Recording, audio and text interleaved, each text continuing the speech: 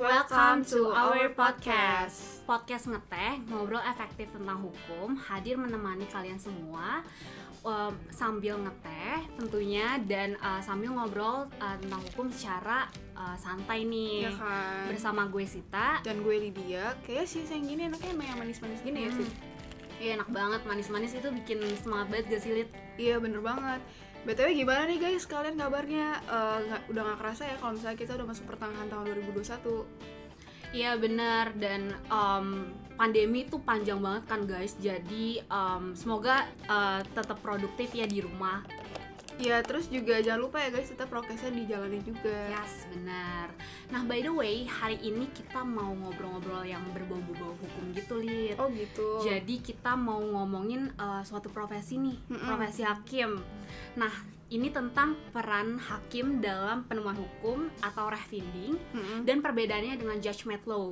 Oh Lid. gitu BTW profesi hakim itu sendiri apa sih sih? Nah, kalau di Indonesia, profesi hakim itu diatur di dalam Undang-Undang Kekuasaan Kehakiman atau Undang-Undang Nomor eh, 48 Tahun 2009. Mm-mm. Yang mana itu hakim diartiin menurut eh, lingkup peradilannya. Hakim adalah hakim pada eh, Mahkamah Agung dan perad- peradilan di bawahnya yang mana ada peradilan umum, peradilan Hmm. agama, peradilan tata usaha negara, terus ada peradilan militer eh, juga militer juga guys. benar, iya benar gitu guys dan em, peradilan khusus di bawahnya. Nah, tapi sebenarnya hakim itu eh, artinya itu sebenarnya adalah em, pejabat peradilan yang ber- yang diberikan wewenang oleh eh, undang-undang gitu untuk mengadili Mm-mm. dan di samping itu dia juga punya em, apa ya eh, kewajiban atau peran untuk melakukan penemuan penemuan hukum itu sendiri gitu lihat. Oh, kayaknya istilahnya refinding gak sih? Yes, benar, Nah, itu sendiri gimana sih maksudnya?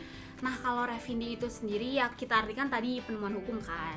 Nah, dia itu adalah em, apa ya proses pembentukan hukum oleh hakim eh, da- dalam eh, peraturan eh, hukum umum gitu yang diterapkan dalam peristiwa hukum konkret dan hasil penemuan itu akan digunakan oleh si hakim untuk eh, mem- membuat keputusan gitu lihat. Oh iya, kalau gue nggak salah juga ada di pasal 20 AB nggak sih? Jadi hakim Yes. itu harus mengadili berdasarkan undang-undang. Iya benar dilanjutin sama pasal dua-duanya ya. Iya, pasal 22 Oh iya benar.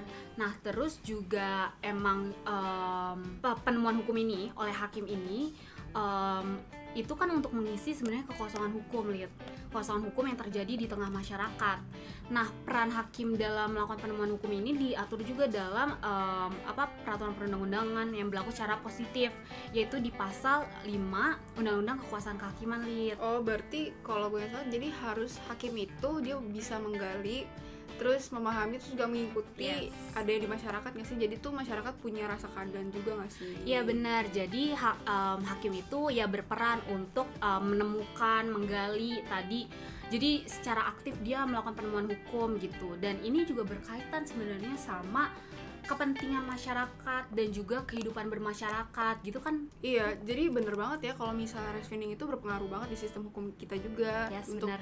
mencegah kekosongan hukum itu kan. Jadi kalau misalnya kita nunggu produk legislatif juga kayaknya masih lama ya buat disahkannya juga. Iya benar Terus kayak harus ya lama menyesuaikan banget juga, kayak kayak ada gitu prolegnas kan kan. soalnya mereka terus kayak bisa Mm-mm. ya bertahun-tahun gitu kan Iya rancangnya. gak kebayang sih kalau misalnya bisa chaos gara-gara ada kekosongan hukum ini ya gak sih? Iya benar bisa chaos banget. Nah sebenarnya apa sih itu kekosongan hukum? Nah kalau kekosongan hukum itu artinya itu nggak ada peraturan, Lid. Misalnya nggak ada peraturan eh, yang mengatur, eh, terus juga misalnya ada nih peraturan perundang-undangan yang mengatur, tapi memang dia itu eh, nggak atau belum jelas gitu, Lid, pengaturannya. Jadi emang dilakukan penemuan hukum ini, refinding ini. Gitu. Iya juga sih, BTW lo tau gak sih ada asas eh, buat ada giumnya si refinding ini sendiri? Oh iya iya gue tahu, tapi gue lupa. Lupa ya? Use Koreanovid bener. Keren banget Soalnya ya bahasa. Latin susah Iya gue kan? ingetnya. Nah, jadi Iya, hakim itu ber- dianggap mengetahui semua peraturan undang-undang dan pengadilan dilarang untuk menolak mengadili dan memeriksa perkara tersebut. Keren banget Oh, sih. iya, BTW iya, iya. tau gak sih gimana cara hakim untuk melakukan penemuan hukum ini? Nah, kalau ini gue baru tahu Hmm. kalau misalnya metode hakim dalam eh, jadi kan hakim itu melakukan eh, penemuan hukum itu dengan melakukan penafsiran atau menginter- menginterpretasikan em, maksudnya eh, peraturan perundang-undangan gitu, Lid. Maksudnya? Maksudnya tuh eh, yang kayak gue jelasin tadi kalau misalnya kan eh, udah ada peraturan perundang-undangan tapi memang enggak uh, atau belum jelas gitu peraturannya. Nah, si hakim ini uh, menginterpretasikan hukum itu sendiri gitu.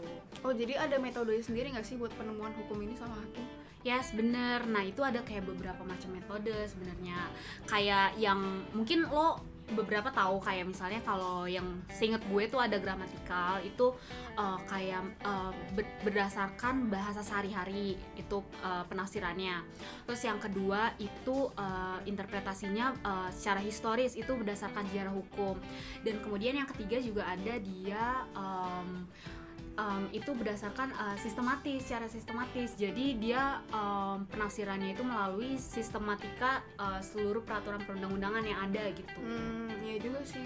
Kayaknya kalau gue salah ada tiga lagi sih namanya teologis terus perbandingan hukum sama futuristik. Jadi Oh, iya, supaya menceg apa Iya, namanya kayak supaya kita tuh bisa ada bayangan nanti tuh di masa depan akan seperti apa. Jadi ada Iya, RU-nya iya. juga nggak sih? Iya benar-benar keren banget nggak tuh? Keren banget. Nah eh, sebenarnya tuh revinding itu ada nggak sih di negara common law itu Nah, ada em, pasti yang udah em, yang udah gue pelajarin dan gue ketahui itu namanya judgment law Lid. oh gitu maksudnya gimana sih apa bedanya Nah, kalau misalnya kan yang tadi udah seperti yang kita obrolin gitu, refining itu kan eh, proses penemuan hukum dari em, untuk diterapkan di peristiwa yang konkret gitu kan. Nah, kalau misalnya eh, dan dan kalau misalnya refinding itu juga kan tadi berdasarkan undang-undang eh, itu kayak em, yang udah ada atau tapi belum jelas atau nggak jelas itu ditafsirkan lagi gitu.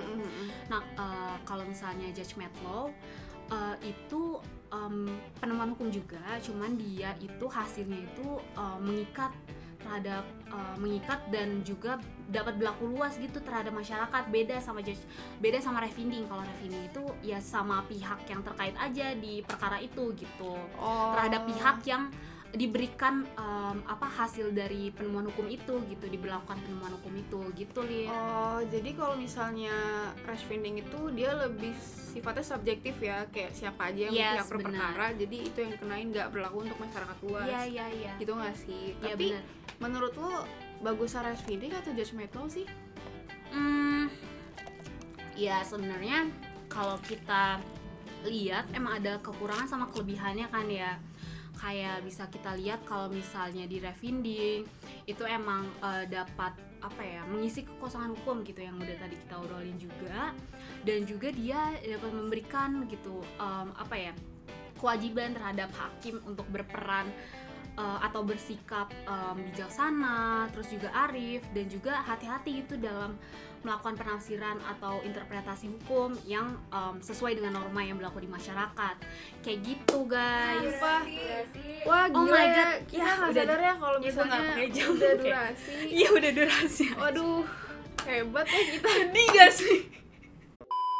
Ya udah guys, eh, jangan lupa Kita tet- eh, kalian tetap pantau podcast kita juga ya karena bakal ada teman kita selanjutnya bakal ngejelasin tentang hukum juga nih. yes pantau di our social media. Yoi. Oke guys, bye bye semua. See you next time. See you everyone.